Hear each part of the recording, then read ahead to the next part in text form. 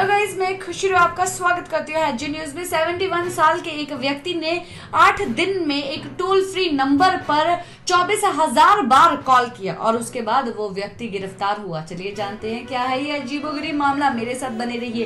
पर उससे पहले अगर आपने हमारा चैनल सब्सक्राइब नहीं किया तो हमारा चैनल सब्सक्राइब कर लीजिए, बेल आइकन को दबा दीजिए। जानकारी अच्छी लगी तो कमेंट बॉक्स में कमेंट करते हुए ज़रूर चाहिए और साथ के साथ एक लाइक ठोकते हुए ज़रूर चाहिए तो शुरू करते हैं आज की न्यूज़।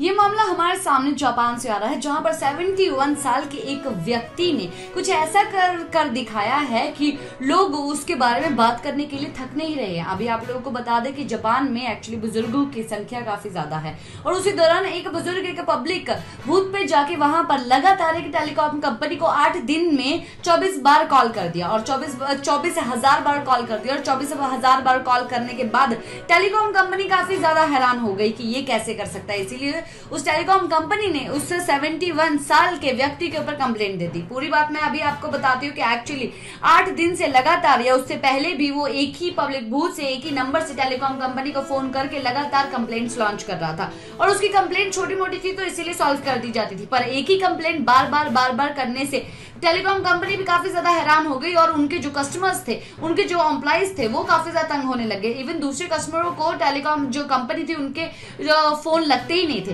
इसकी वजह से अभी आप लोगों को बता दूँ कि जापान में अगर कोई भी बंदा किसी के भी बिज़नेस को खराब करना चाहे, तब उस दौरान उसके ऊपर लॉन्च की जा सकती है कंप्लेंट तो इसलिए टेलीकॉम कंपनी ने इस बूथ का नंबर दिया और उसके बाद वहाँ पर जाके सेवेंटी साल के इस व्यक्ति को गिरफ़्तार कर लिया गया, जिसके ऊपर अभी मुकदमा चल रहा है कि इसने भी किसी का टेलीकॉम कंपनी का बिज़नेस खराब करने के लिए ये सब चीज़ें साजिश की है।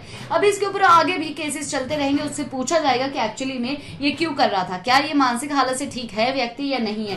क्या हुआ है इस व्यक्ति को? अभी अभी पूरी बात बाहर नहीं आई है। हमारे पास इसकी जानकारी आगे क्या हम आप तक ज़रूर पहुंचाएँगे। उसके लिए हमारे चैनल को ज़रूर सब्सक्राइब कीजिए और बेलाइकन को ज़रूर दबाइए। इसी के साथ मैं लेती हूँ इजाज़त। बाय टेक केयर नमस्कार। अगर ये खबर आपको पसंद आई हो तो आप वीडियो को लाइक करें, चैनल को सब्सक्राइब करना ना भूलें। Thanks for watching H news